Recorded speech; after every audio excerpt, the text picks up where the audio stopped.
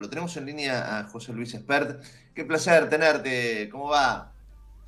Hola, hola, hola. Gran ganador, gran ganador. Gracias. Fierro, pero felicitaciones. A toda la Gracias.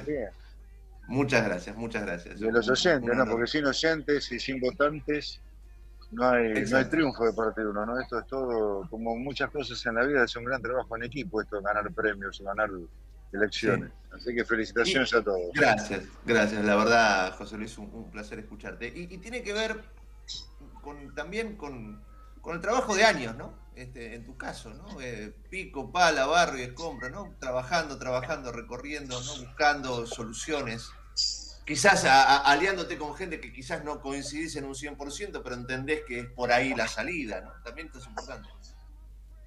Sí, absolutamente. Como, como muchas de las cosas en la vida, la construcción política no deja de ser ladrillito sobre ladrillito sobre ladrillito hasta que terminas armando la casa, ¿no? O sea, esto empezó en el 2019 con una candidatura que sembró la semillita, una semillita chiquitita que fue creciendo, creciendo, creciendo, y hoy eh, los grandes profesionales de la política entienden que la solución de los problemas argentinos pasan por las cosas que nosotros políticamente planteamos en el 2019 con mucha contundencia, con mucha claridad en los debates presidenciales en particular.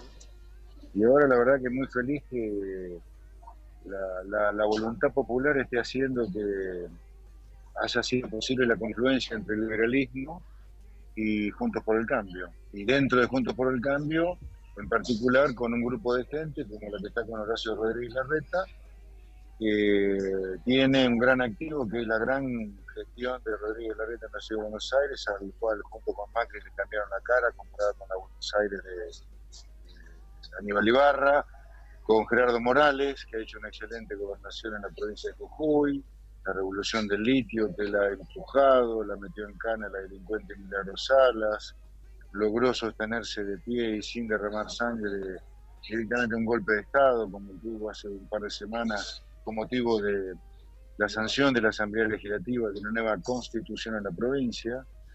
Pichetto, Miguel Ángel y Silvia Los Penato, con su gran experiencia en la Cámara de Diputados, que forma parte de la lista en la provincia de Buenos Aires.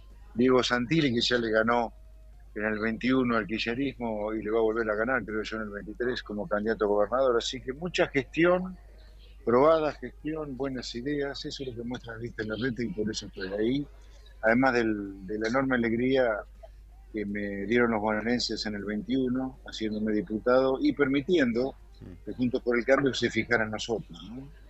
Eh, vos es que todo esto tenés razón, pero ¿cómo se logra quebrar una sociedad, lo decíamos recién con Raúl Vázquez, que seguramente ahora te hará un par de preguntas, pero digo, ¿cómo se logra quebrar una sociedad con síndrome de Estocolmo? ¿no? Porque evidentemente quizás lo notás, es una sociedad que dice, yo salgo, voy a volantear, ¿y qué pasa? Mirá si después la calle se pudre y entonces, viste, hay como una cosa en la cabeza de los argentinos de, eh, quizás aquellos que nos llevaron al problema lo pueden solucionar. ¿Cómo, cómo se quiebra eso?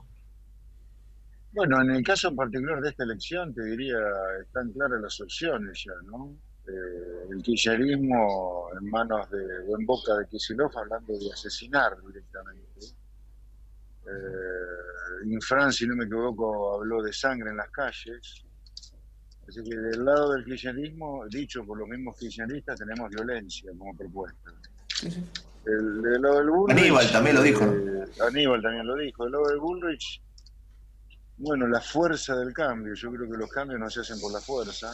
La fuerza, en todo caso, será necesaria aplicarla solo con los delincuentes, pero los cambios duraderos se hacen persuadiendo, se hacen con decisión, con convicción, llevándolos adelante con menos grito, pero ya haciéndolos. Así que, en ese sentido, le quiero dar la tranquilidad a la gente que del lado de la lista que encabeza Horacio Rodríguez Larreta y Gerardo Morales, de la cual yo formo parte como candidato a senador por la provincia de Buenos Aires, a mí nadie me va a tildar de ni me va a correr por derecha sobre la firmeza que hay que tener para hacer las cosas, pero como propuesta, como propuesta de cambio en la Argentina, algo que se acerca a la violencia o a la fuerza, y en el caso del kirchnerismo ya la violencia explícita, estamos muy, muy lejos de eso. Nosotros queremos que la gente el próximo verano, el verano 23-24, esté en hojotas en la playa, no saliendo a defender con la, la patria con piedras y, morteros.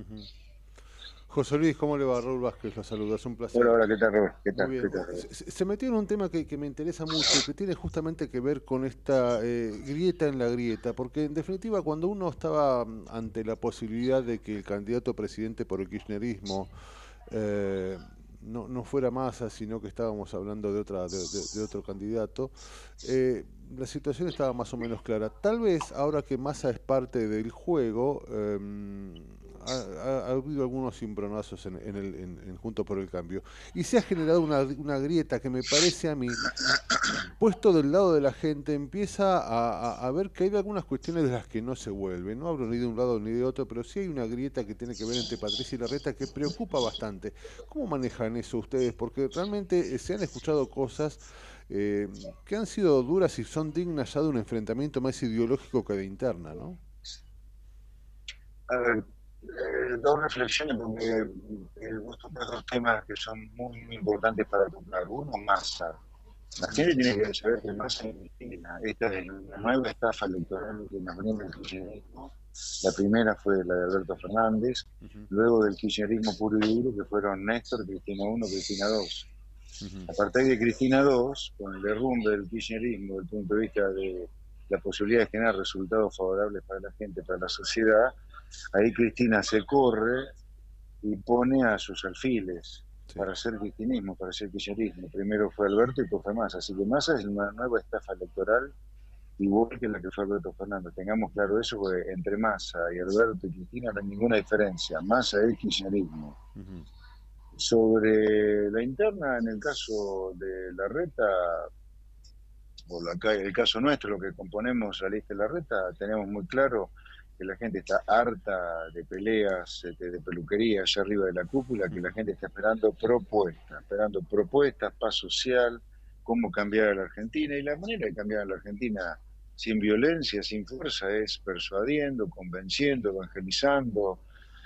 Eh, vuelvo a repetir, la figura nuestra es que la gente en el verano que viene esté en la, en la playa de Nojota y los políticos laburando en paz acá en, la capital federal, pero no transformar en una pedrera como fue en su momento la reforma provisional durante el gobierno anterior, etcétera, sino que la gente vive en paz. Y la verdad que los cambios duraderos son los cambios que se hacen en base a acuerdos, a consenso, en base a persuadir, lo cual no quiere decir ser débiles, sino simplemente es no mentir, no mentir a la gente. ¿Qué cambios se imponen por la fuerza? No ninguno dura de lo que se impone por la fuerza.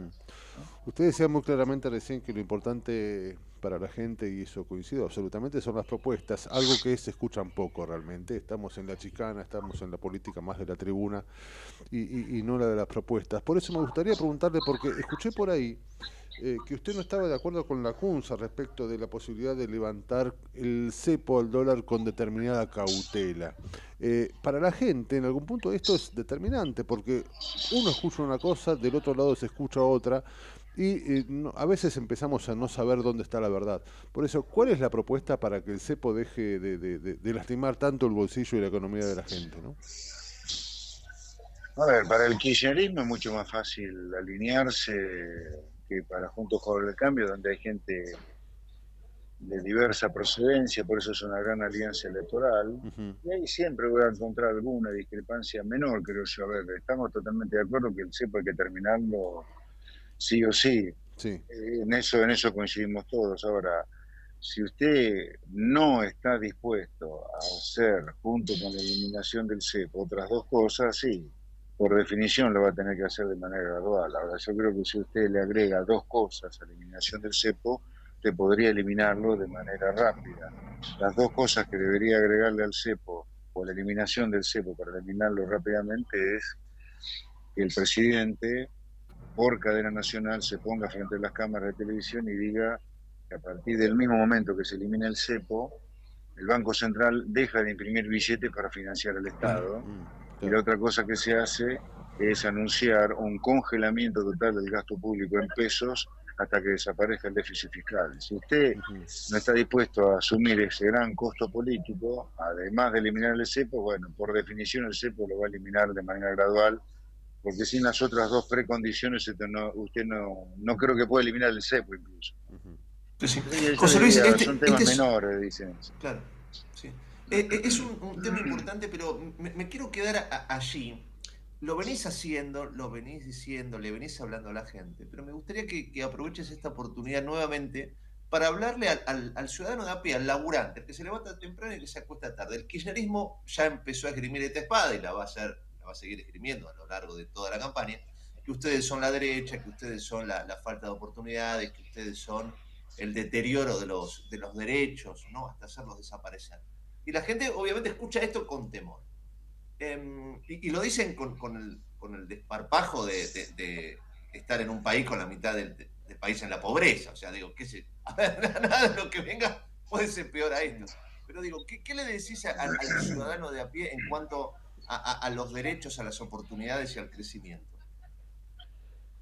Ah, bueno, un poco la, respuesta a tu pregunta está en tu propia pregunta, porque vos ya afirmaste que la población, la, mitad es pobre, así que claro. en gran parte de confesión de parte, reloj de prueba, el 46% de los chicos de escuela primaria no tienen comprensión de texto. Esta gente ha destruido la educación de manera deliberada para que la gente piense con los pies y no con la cabeza y vote cualquier cosa. El 75% de los chicos en la provincia de Buenos Aires tienen menos de cuatro horas por día en promedio de clase, por semana.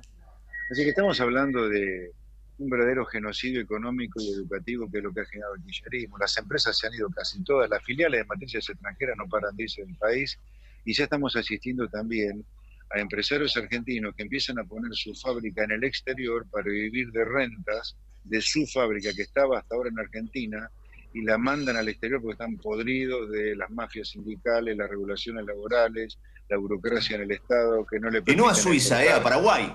No, a Paraguay, Uruguay, que no le permiten importar. A ver, 150% de inflación, 140% vamos a tener este año. La inflación más alta desde la hiperinflación. O sea, Argentina hoy está con una inflación solamente más baja, yendo por atrás en el tiempo, que la hiperinflación. O sea, estamos en recesión económica. Argentina no crece hace 11 años. Hace 11 años que está estancada y en particular este año está cayendo luego del rebote del gato muerto 21-22. Entonces, ¿de qué me habla el kirchnerismo? ¿Qué? Leyes laborales. Estamos hablando que la mitad de la población trabajadora trabaja en negro. 8 millones de personas sin derecho a jubilación, sin derecho a la salud, sin derecho al aguinaldo, sin derecho a vacaciones. ¿De qué habla el kirchnerismo? Por favor.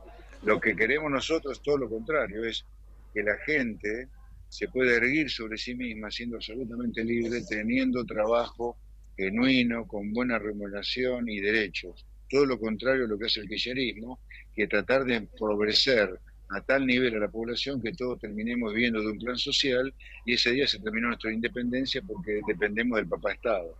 Así que los que queremos cambiar la Argentina queremos justamente el gran cambio, el gran cambio en nuestras vidas que es una Argentina de pie, con trabajo, con derechos, con competencia con el mundo, todo lo contrario a lo que el kirchnerismo hace, que es todo lo contrario a lo que dice que va a ser lo que venimos, que seguramente vamos a ganar la elección este año.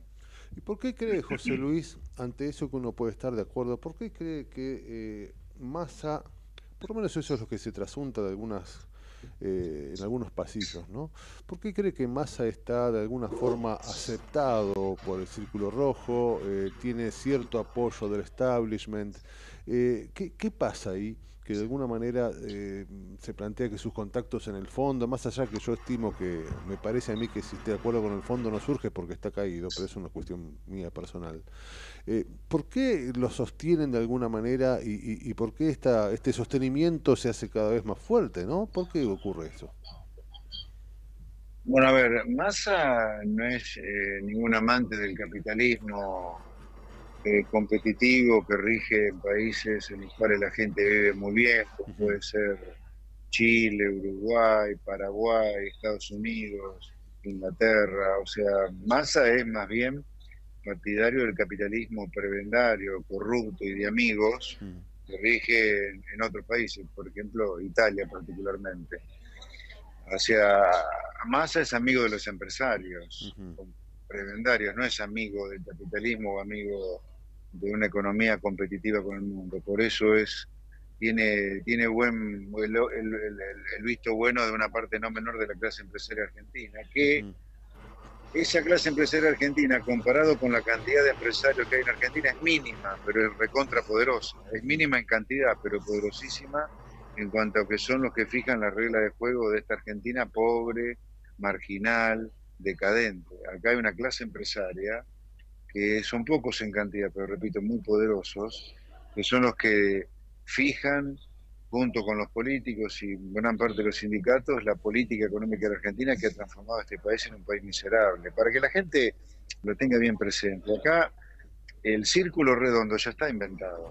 O sea, eh, ya se sabe cómo los países prosperan, crecen, con, con empresarios que compiten con el mundo para darle a esos consumidores productos de buena calidad bajo precio. Ya se sabe cómo los trabajadores eh, tienen que tener las reglas laborales necesarias para que tengan derechos y buenos salarios. El mundo ya inventó el círculo, el círculo es redondo, ya inventó la pólvora.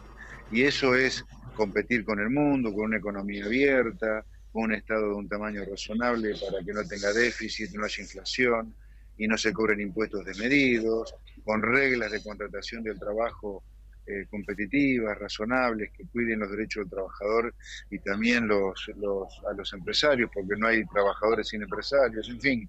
El mundo ya inventó el círculo, entre comillas, de la felicidad. Ahora, por alguna razón demoníaca, nosotros estamos poseídos en Argentina, nosotros estamos haciendo todo, todo al revés, de hace por lo menos un siglo, por eso muy bien tuve al principio hablaba del síndrome de Estocolmo, de hace un siglo que venimos haciendo lo mismo, este, a repetición continua sin darnos cuenta que de pronto, uy, la mitad de la población es pobre, uy, tenemos narcotráfico, uy, tenemos inseguridad rampante, uy, los chicos eh, en la primaria no tienen comprensión de texto. Bueno, todo eso es consecuencia de un modelo que hay que cambiarlo. Ahora, la única manera de cambiarlo es desde la política, por eso aquellos que apedrean la política realmente, no sé si son cínicos o brutos, pero no tienen la menor idea de dónde cambian las sociedades a sus sistemas insanos.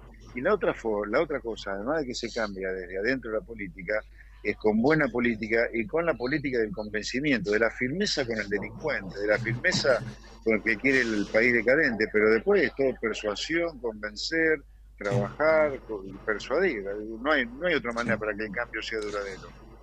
Em, yo quiero ser respetuoso con tu equipo de producción porque tenés una mañana eh, complicada. Pero me, quedé pensando en esto y, también la firmeza a la, hora de dirigir. ¿no? Estuve, José Luis, en, la frontera hace poco, en Formosa, donde, bueno, acopio de combustible de este lado, pasan por manguera por nuestra frontera, pon manguera, José Luis, al otro lado, pasan dinosaurios vivos y la gendarmería pasa todos los días y cobra el diezmo. Digo, también tenés que tener eh, firmeza a la hora de dirigir, ¿no? Estas barbaridades se tienen que cortar, porque ¿cómo vas a terminar con el narcotráfico si la gendarmería o la prefectura se la vista gorda, ¿no? También en eso hay que ser duro. Pero, pero, por supuesto, mira, por eso yo decía, eh, guarda con estas cosas cuando se habla de sangre, violencia, la fuerza del cambio y te muestran spots violentos, porque la violencia o la dureza o la firmeza es con los delincuentes con el resto de la gente, con la gente de bien, que estará equivocado o no, pero que no delinque, ahí tenés que aplicar la persuasión, el convencimiento, la evangelización.